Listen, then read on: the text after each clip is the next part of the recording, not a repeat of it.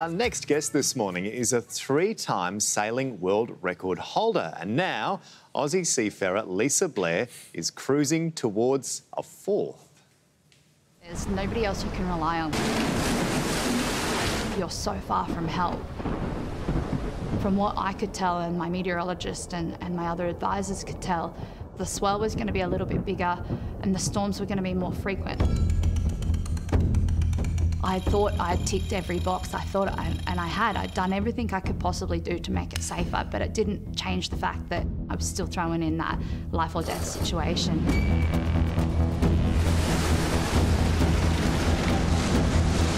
Everything was like mounting up.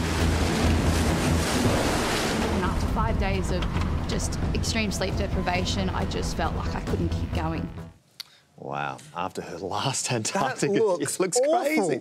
Well, after her last Antarctic adventure almost cost her her life, she's on a mission to do it all again and this time beat her own record. Why?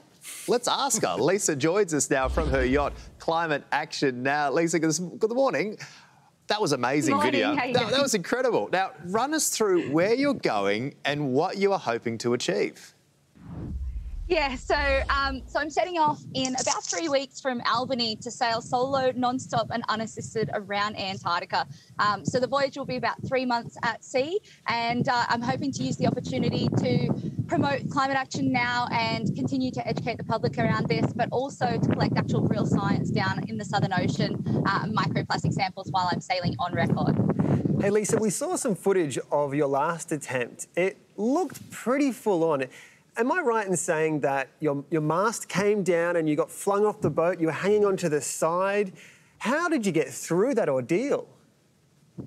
Yeah, I mean, I'm, I'm actually extremely fortunate to be able to be here and tell people the story and, and share that story with the public because it was touch and go quite a few times through that night um, when the boat did break and the mast did come down. So, um, you know, when you're backed into a corner like that, you have that fight or flight situation. And I was a thousand nautical miles from land, and the only way forward was to fight and save the boat and get myself to land. So that's what I did.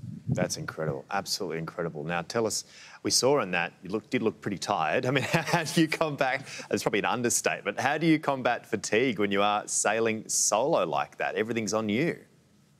Yeah, everything's on you. You can't switch off for even a microsecond. Um, so I do 20 minute micro sleeps most of the time. And then when I get further afield and further out to sea, um, I can increase those up to around 40 minutes. Um, but generally, I don't sleep more than 40 minutes uh, in the entirety of the whole world record. So, yeah, your sleep management and fatigue management is um, one of the biggest risks of the whole record. That's incredible. It's just like Wow. parenting, really, isn't it? Yeah, any chance we can get it down to four minute micro sleeps for people? We could do it during ad breaks. That would be nice. That's incredible. Wow. Lisa, how have you prepared differently for the second time attempt?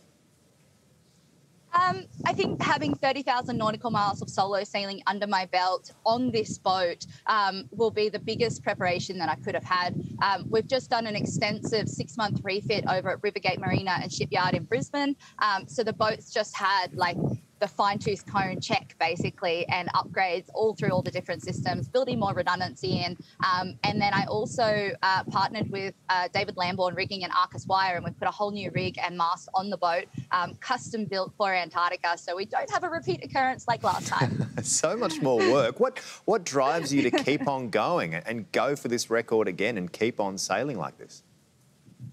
it's the original record was something I'd worked for for three and a half years to actually achieve to that point, and then to have it taken away because something failed on the boat um, was just heartbreaking. And um, I remember after restarting the record in Cape Town and doing that final leg to Australia, sort of promising to myself then um, that I would come back and do this record again. And um, I always wanted to break the, record set by Russian sailor Fedor Konyukhov in 2008, um, and he did the trip in 102 days. Um, so I am off to do it again, and the more I can sail, the more public profile I can generate, and the more I can do for our environments as well. So um, all of those things just are so important to the campaign. Lisa, you mentioned that Climate Action Now is the name of your yacht. What inspired you to become an activist?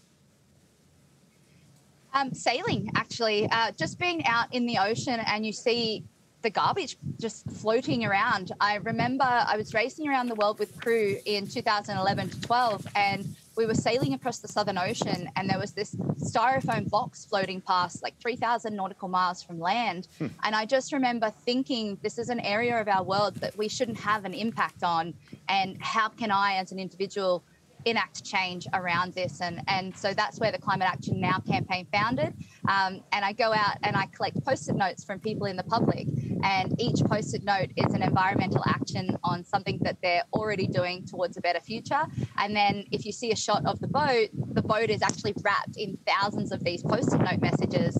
Um, so instead of me just sailing on my own, I'm actually carrying this community voice around Antarctica as well. So um, it definitely has been a powerful campaign. And inspiring people that we all have the power to create change. So good. Hey, if you would like to become a part of Lisa's epic sail, you can actually sponsor one of the 360 degrees of the trip to help fund research for ocean health. Head to lisablairsailstheworld.com. Hey, Lisa, thank you so much and best of luck. Fingers crossed. Yeah, can't wait to follow it. Well done. Thank you. Thanks for having me on the show. And be safe, please. Be safe. Yeah. Yeah. I'll do my best.